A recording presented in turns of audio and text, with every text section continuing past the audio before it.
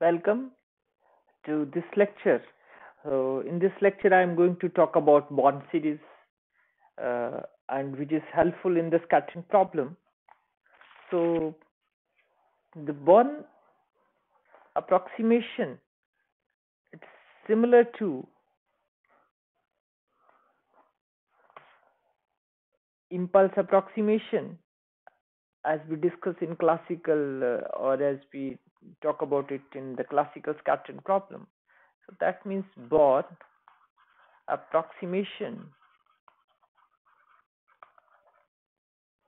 is similar to impulse approximation.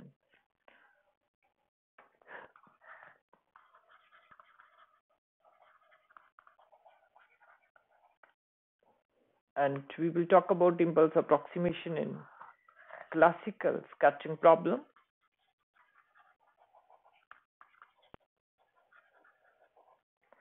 So for this, let us consider a scattering center.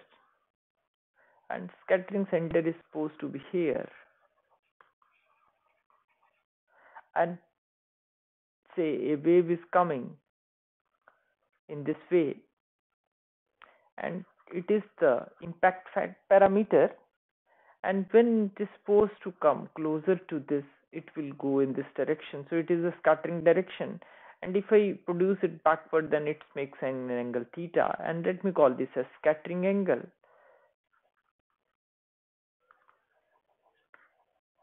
It is a scattering angle. And the object is supposed to move in this direction. And a perpendicular impulse will act in the transverse direction because of the transverse component of force. And this is the impulse direction. This is the momentum direction. So an impulse is imparted to the particle transverse impulse. And that transverse impulse is defined as i is equal to transverse direction of force into time. Its integral. It is a simple definition of impulse. And if deflection is small this deflection this theta is small then this theta can be estimated as tan inverse i by p because impulse is acting along this direction and momentum is along this direction and body starts moving in this way. So if it is making an angle theta if we try to look at it then this i over p is nothing but it can be equivalent to tangent theta. So that's why theta can be estimated as tan inverse i over p. So what does it mean? It means that when a wave is approaching and initial wave is represented by naught and when this wave is approaching this it gets deflected near the potential right? And this is the angle with which it gets deflected right? And if I try to recall integral form of uh, Schrodinger wave equation then also another thing which I want to mention that if there is no deflection then this is known as zeroth order Born approximation. But when it interacted with the potential it is known as first order interaction uh, or sorry first order uh, Born approximation.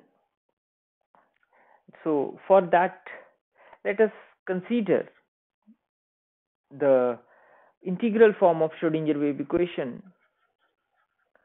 Integral form of Schrodinger equation. And if we talk about it then I can say that psi r is it can be written as psi naught r minus m over 2 pi h cross square e raised to power iota k. R minus r naught mod upon e raised to sorry r minus r naught mod. Its integral. It is v r naught and psi r d cube r naught right? So i can write down it this way. But for the sake of simplicity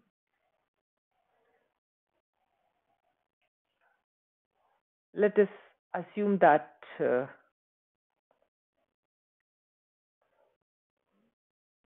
this is equal to or let us define gr it is a green function and let me call it that it, it is minus m over 2 pi h cross square and e raised to power iota k r. So if i use this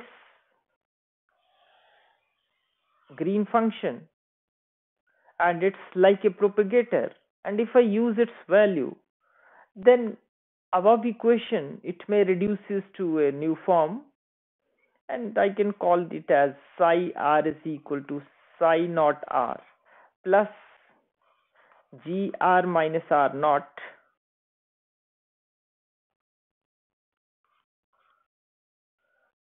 right. So if I take it like this and it is v r naught and psi r naught and d cube r naught and let me take its integral in this way. And let me simplify this notation in more simple form so that I can use uh, uh, or I can transform this integral Schrodinger wave equation is like a iteration of terms. So its psi is equal to psi naught plus g. Let me call it as g. And let me call this v. And let me call this as psi. Right? And it's integral. So but if I use this value of psi again here then this equation can be written as this psi. It is gv it is psi naught plus gv psi uh, just a minute. Let me write down it in this way. So it is equal to it's equal to psi naught plus gv psi naught plus gv gv and it is psi. And this is known as first or this is known as Born series up to first term. And if I ignore this right?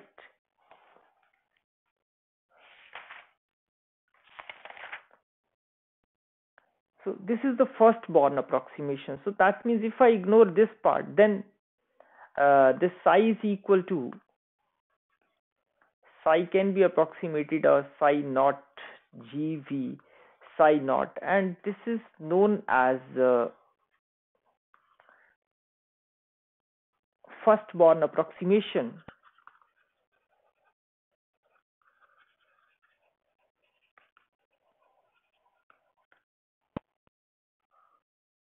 Means second order truncation terms will uh, can be neglected. But if I used more accurate then what I will do. I will use the value of psi uh, in this part. So if I do this then this psi is equal to psi naught plus gv psi naught plus gv and gv and its value will be psi naught plus gv psi. I will use this value here so if I make more simplification to it so it is psi naught plus gv psi naught plus gv and gv and it is psi naught plus gv uh, here it is uh, first order integration yeah it is uh, second order integration and it is gv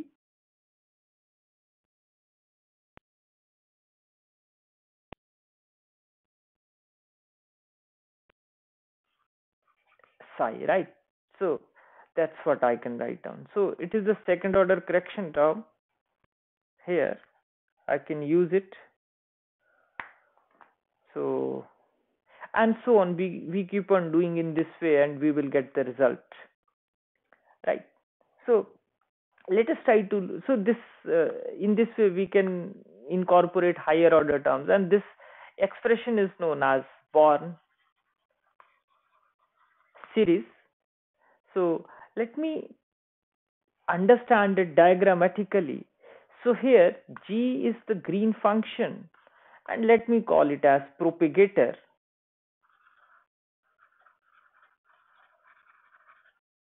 And say v is the potential. And let me call this as vertex factor and these are the terms we will use in case of Feynman diagrams. This is also very interesting topic Feynman diagram but uh, this is beyond the scope of this article so that's why I am not talking about it. So say it is a wave function how wave function can be estimated so the wave function is equal to the zeroth order wave function whenever that means it is not deviated. But if there is a potential, then what will happen?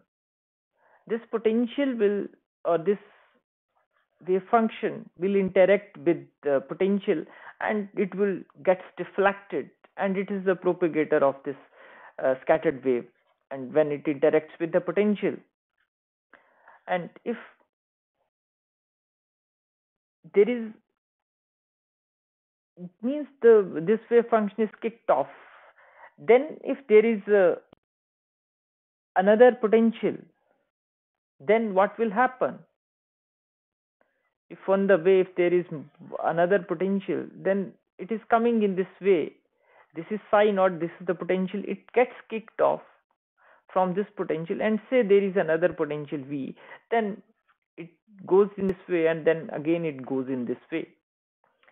And again, if there is another possibility, this wave function goes like this. It is the potential and it goes in this way, in this way, and say it goes in this way. So there is one more potential, another, and these are the G, G, and so on. Right. So this is a way that how uh, the Born series can be visualized diagrammatically.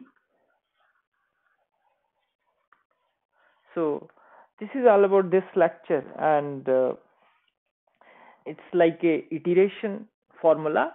So uh, that's all for today's lecture.